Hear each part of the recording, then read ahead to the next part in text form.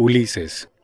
El hombre moreno y flaco que tiene la cabeza rapada se cita con el frío del amanecer que entra por la ventana abierta de su cuarto y sueña, sue, su, su, profundamente.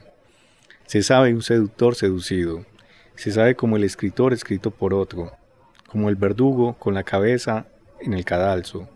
Nada más gracioso que los primeros pasos del marinero que por primera vez arriba a tierra como si de pronto Ulises se hubiera quedado tejiendo en el puerto, mientras Penélope se va a navegar con otros marineros. Cómo sufre Ulises con la idea de Penélope ebria, en otro puerto, en otra noche, en otro marinero. Ulises suspira mientras teje con sus manos las palabras que sueña y que, y que murmura y desteje al amanecer desde el interior de una de las botellas que el hombre muy flaco tiene ancladas a la mesa rústica.